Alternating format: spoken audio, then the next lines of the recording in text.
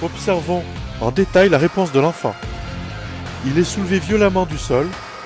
L'enfant frappe avec son talon l'entrejambe de l'agresseur.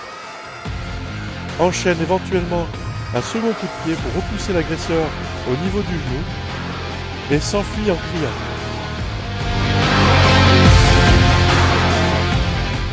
Nous voyons dans cette vidéo qu'un enfant peut se défendre face à un adulte. J'espère que cette vidéo vous a plu. N'hésitez pas à la partager, à liker. Je vous dis à très bientôt et vous souhaite une très bonne journée.